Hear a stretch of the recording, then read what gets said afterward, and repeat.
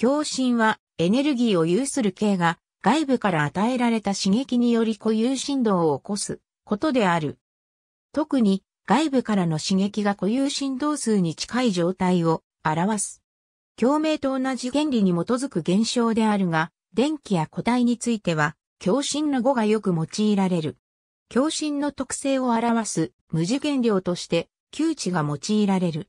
値が大きいほどエネルギーの分散が小さく、狭い振動数の帯域で共振する。共振のシステムとして、振動する振り子が単純な例として挙げられる。振り子を押して系に振動を例記することにより、振り子はその固有振動数で振動を始める。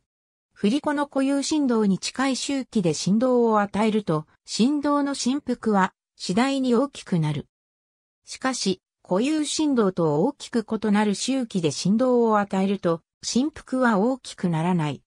共振による現象の例として、タコマナローズ橋がしばしば取り上げられるが、これについては、専門家から誤解が指摘されている。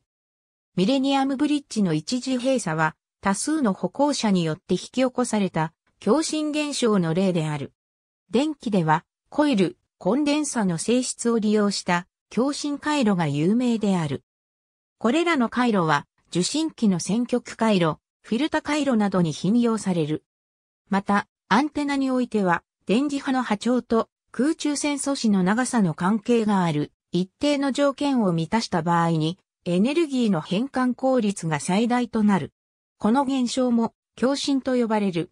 共振周波数を測定する機器として、ディップメータがある。ありがとうございます。